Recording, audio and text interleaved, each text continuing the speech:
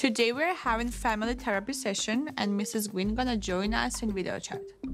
When we did our therapy intakes, it was an option to do family therapy. So I chose that option because my mom is such a big part of our life, especially when we make big decisions.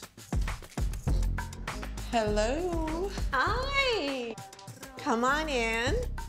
Of course you wanna have your mom there so, there so she can support you and take your sides in all of the arguments.